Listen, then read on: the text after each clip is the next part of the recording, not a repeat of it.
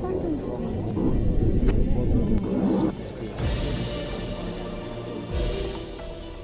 I'm James Bays at UN headquarters in New York. Norway and the United States have long been close allies, but with other NATO partners, they're now facing a new challenge. As the alliance puts its forces on alert, and with thousands of Russian troops amassed at Ukraine's borders, are we heading into a full-scale war?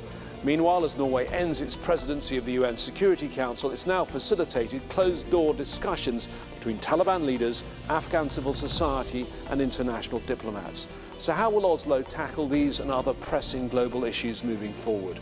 The Norwegian Prime Minister, Jonas Gahr Støre, talks to Al Jazeera. Jonas Gahr Støre, Prime Minister of Norway, thank you for talking to Al Jazeera. And I'm going to start with a question that, for you, calls for pure speculation. Because already it's been answered by others. US President Joe Biden thinks the answer is a likely yes. The UN Secretary General Antonio Guterres thinks it's probably no. So I want your view. Do you think Russian President Vladimir Putin is going to decide to invade Ukraine? It's in his head and I cannot read his mind. But I choose to say no, because I think the options other than military intervention should be available to modern Europe. We have a toolbox in Europe that should be able to deal with these kind of issues, provide security to countries next to other countries without using the military option, which I believe is not an answer to the challenge. Norway is currently midway through its two-year term as an elected member of the UN Security Council. You've been president of the Security Council for the month of January. Do you believe that the threat of an invasion of Ukraine is currently the biggest threat to international peace and security? Well, in the, in the immediate weeks to come, I believe yes. But that does not mean that one can push aside other threats to security in other regions of the world. And I'm always, you know, conscious of saying that there are threats to peace and security that don't appear on the TV screens, that happen when uh, where there are no cameras.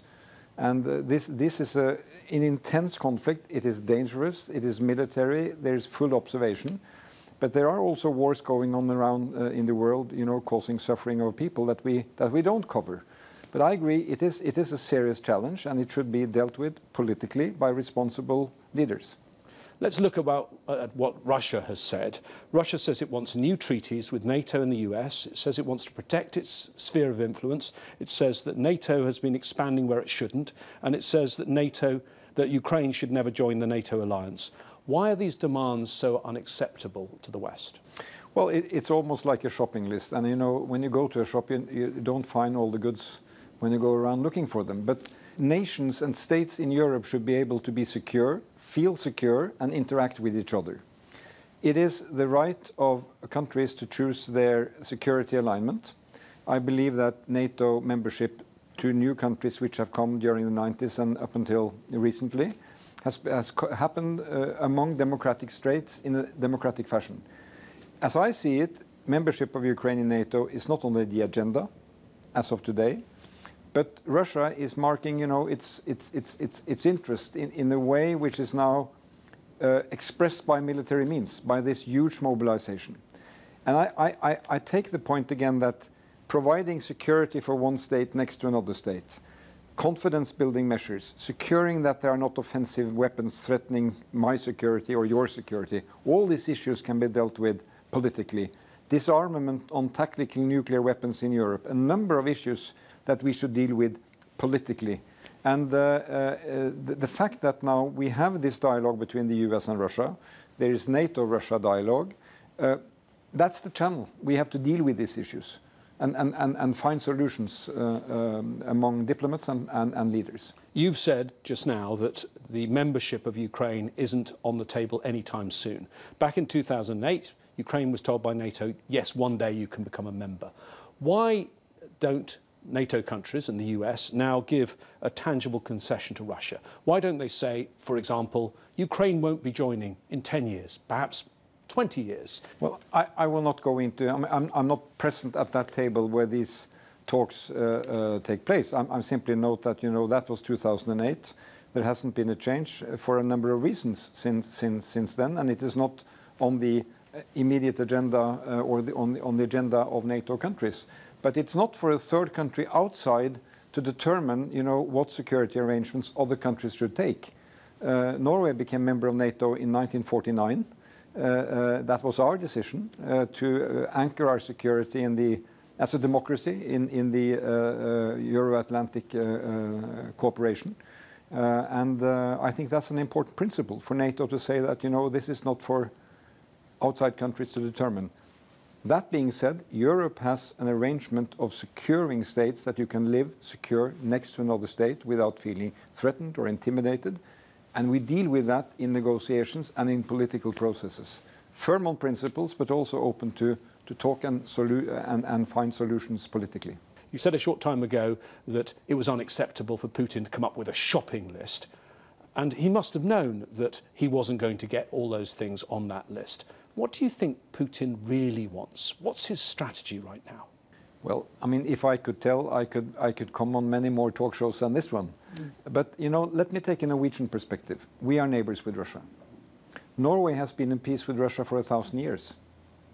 We have 200 kilometers land border and a huge responsibility together in the Barents Sea and the uh, Arctic Sea. We had a disputed border with Russia in these waters, uh, and, and I negotiated with my colleague Sergei Lavrov a modern treaty to solve that issue. We demonstrated that we could share 170,000 square kilometers, 50-50 to each state, with a very modern principle of drawing a delimitation line. We have developed neighbor relations with Russia in the north, which I believe are pointing in the future direction. You know, politically, neighbors can deal with each other and find solutions. So we have to get back to that track where my security is not impeding on your security.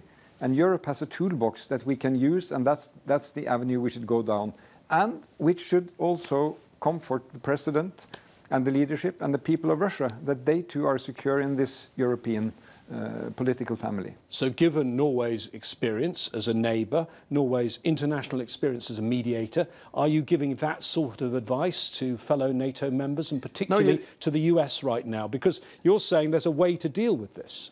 Well, but I mean, we have a lot of experience, and the experience is different. You know, being neighbor with Russia is not a one uh, solution. I mean, they are neighbors to Russia with a different story, different history. And I, respect that. And when I talk to my Baltic colleagues, my Polish colleague, uh, my Nordic colleagues, we all have different experiences. But our experience is the one I bring to the table. But you know, it's an experience of being secure also because we are in an alliance. We are next to Russia. We deal with our neighborhood in, a low tension fashion. But Russia knows that Norway's policy is predictable and long term. We are a member of NATO.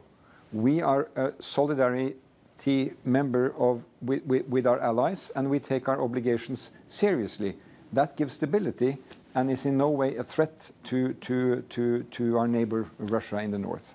As you know, there is so much speculation now. Will there be a full invasion? Will he just take the Donbass? Is he going to use agents provocateurs? Is there going to be a puppet political figure? Are there going to be renewed cyber attacks? How does NATO calibrate its response to so many different possibilities at this stage? Well, I, I, you know, I think NATO's voice has to be clear. Our, our kind of collective defense uh, uh, reassurances concerns NATO, NATO members. But we cannot be indifferent if there is military force being used to cross borders against states in, the, in Europe in 2022. That is unacceptable. So I, I'm also very clear, you know, that if, if military means on a massive scale or military means at all is used to cross border and pressure other countries, we, we should be very clear about that. It's not acceptable. It will have consequences. Uh, and, uh, that should be stated clearly. And I, have experienced now that United States, talking to Russia, has been very inclusive with its European partners. It's a very united NATO now, very united Euro-Atlantic voice on these key principles. But on that basis, I still believe that the political track provides us with opportunities to find solution, reassurances, and that's also up to now President Putin to demonstrate that he can be at that table seeking solutions that can be constructive, not only for him, but also for his neighbors. You say it's united, yet there are some NATO countries, for example, the UK, the Baltic states, and now the US, that are sending weapons and equipment. They're sending anti-tank um, missiles, Javelin missiles, and Stinger anti-aircraft missiles. Other countries, like Germany, are saying, no, we're blocking the transfer of weapons. And France is arguing that perhaps it's the EU, not the US, that should be negotiating with Russia. Aren't these sort of divisions, and there are some divisions, just going to embolden President Putin? I don't call them the divisions. You know, uh, uh, it may be look different from the other side, but these are democracies. You know, there are debates going on. But on the key principles, you had uh, uh discussions among key allies uh, in NATO, US, France, Germany, European Union, and on these key principles, there is agreement.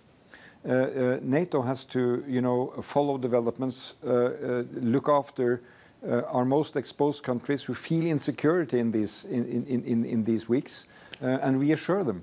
And, and, here I think you know the Russian president has a responsibility himself. You know, does he contribute to reassurances, to stability, to the environment it takes to find political solutions? I simply state, and I observe that now there are talks going on. There's a channel of communication. And I would appeal to those who sit at, at those tables, use those channels at the maximum.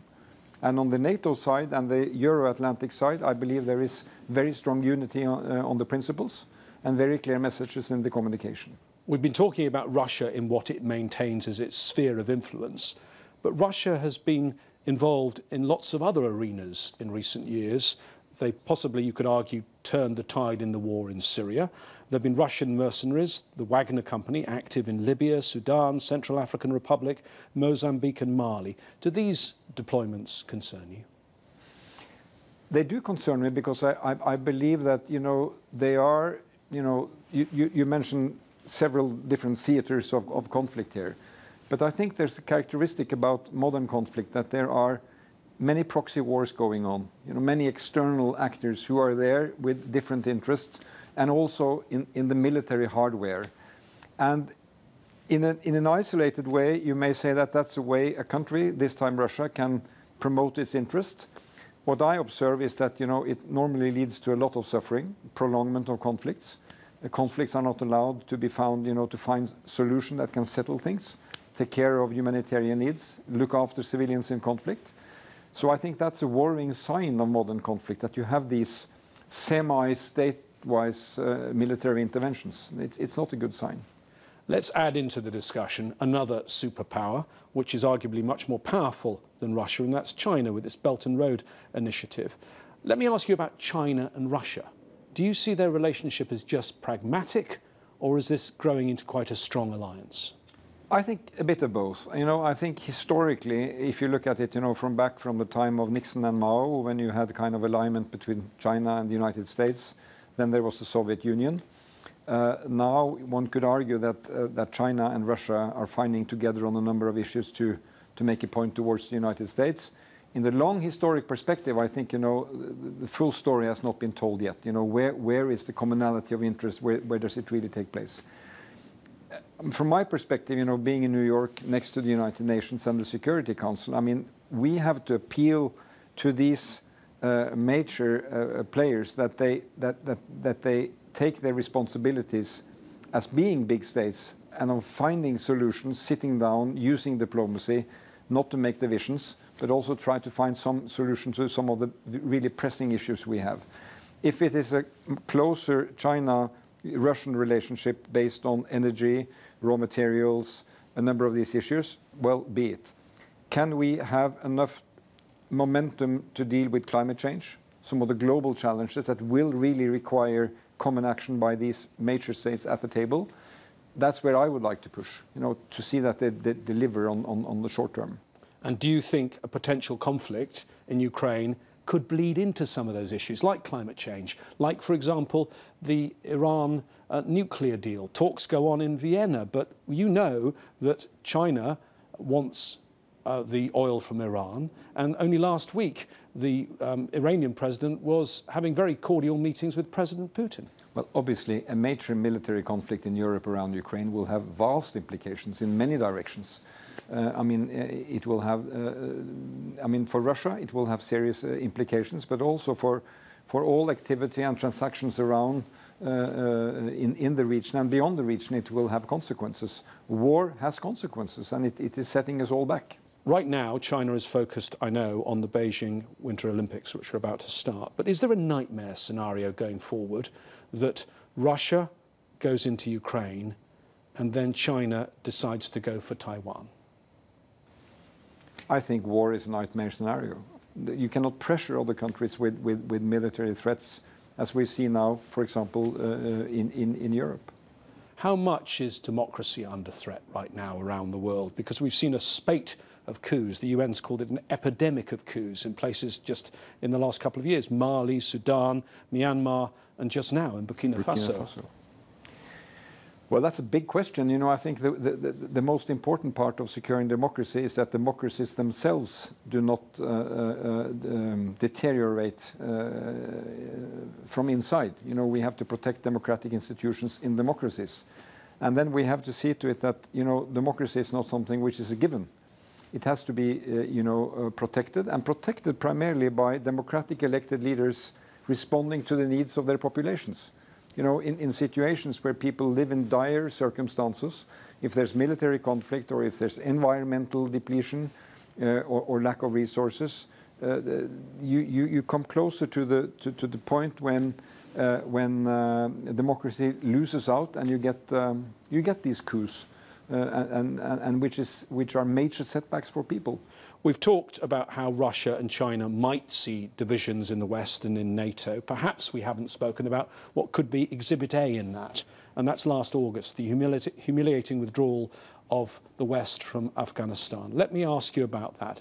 Did the international community, NATO countries like your own country, Norway, and the US in particular, let down the people of Afghanistan? Well, to me, you know, as a foreign minister and going in and out of Afghanistan, it was obvious, you know, from from 10, 15 years earlier that you know, there was not going to be a military solution to that conflict. Uh, this had to be settled by Afghans. I think when history is coming back to judge us, far too little effort was made into creating political processes among Afghans. It happened gradually, you know, during the last decade, but a lot of time and a lot of resources and a lot of lives were lost because this process was too slow. The end of that military presence I think would have been messy, no matter how you had arranged it, frankly speaking. Uh, uh, the way it did happen was very messy. And of course, uh, I think it surprised the whole world, not least the Taliban, to all of a sudden see that you know, they were in control of the country without any battle. So the question now is, you know, how can we who have been in Afghanistan basically to secure regional peace and, stability, avoid another terrorist state developing.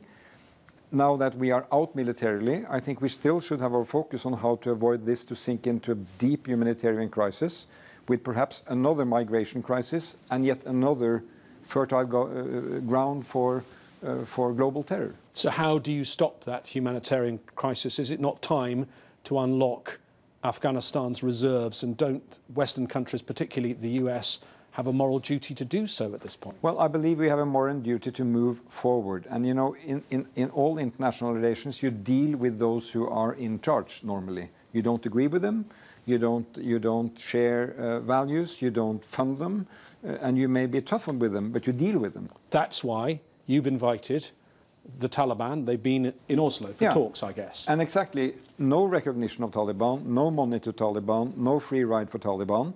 They are in charge. So what we have done, they have not been come to Norway to talk to Norway. They have come to Norway basically to, to talk to Afghans.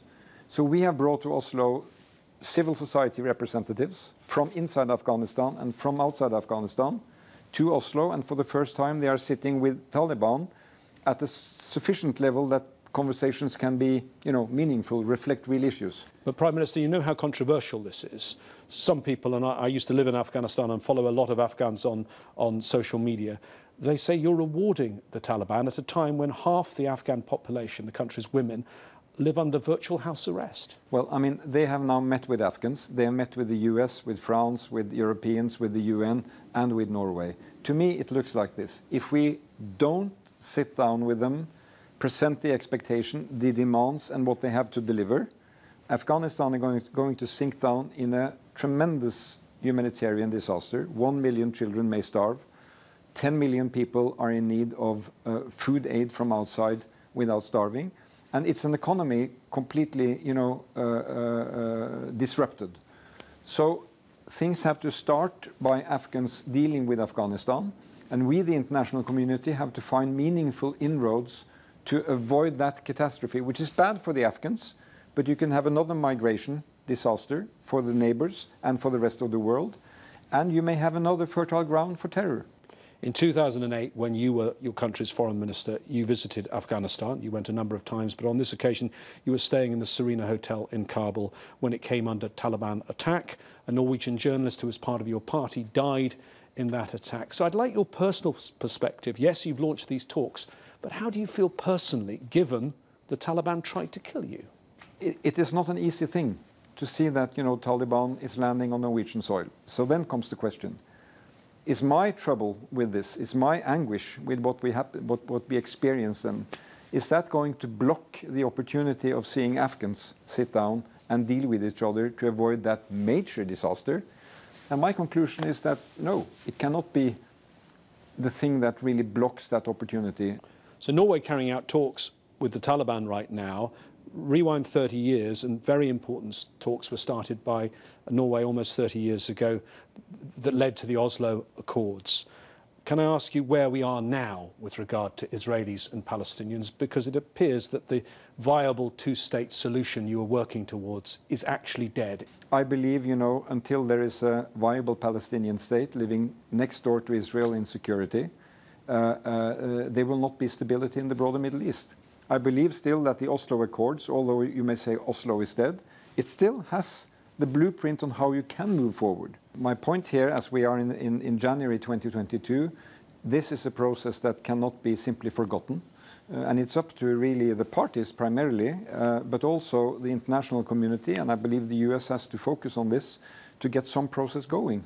Well, because not for your, for your presidency of the Security Council, you called a meeting at foreign minister yes. level very important, one would think, and I know there's COVID. But out of the 15 Security Council members, only Norway and Ghana sent their foreign ministers. The world and the US don't seem to care. Well, but that's why we should take the opportunity when we are sitting in the Security Council of reminding the Council and thereby the rest of the world that, you know, we cannot forget this. Isn't there one part of this that no one ever talks about in the international community? And that's that this conflict will never be solved while the US has all of its public and political opinion stacked on one side, on the side of the Israelis.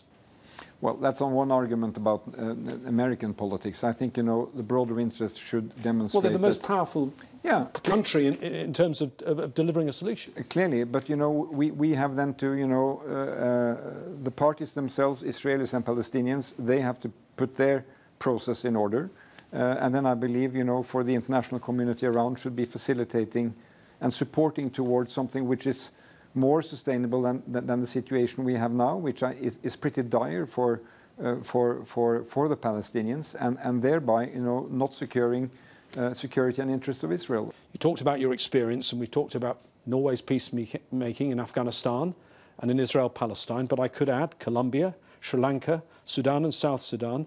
Why does a country with just 5 million people want to perform this outsized role on the international stage?